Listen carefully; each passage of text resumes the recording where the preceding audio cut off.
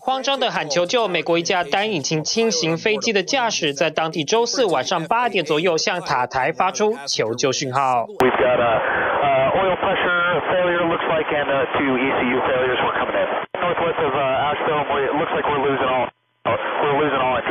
这架载有两名人员的飞机从田纳西州起飞，结果飞越北卡罗来纳州时引擎发生故障，没想到驾驶才刚通报塔台异状，飞机就完全失控。Oh my god! Oh my god!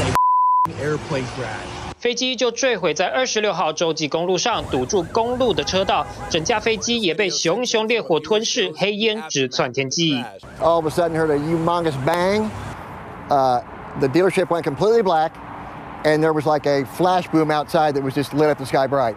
而且飞机坠毁前竟然还勾到电线，造成周围地区大范围停电。The plane also collided with a tractor trailer, and the driver of that vehicle was not injured. 还好机上两人成功脱逃，在送医检查后没有生命大碍，只是飞机的引擎为何会突然故障导致坠机？美国联邦航空局已经介入调查。TBS 新闻综合报道。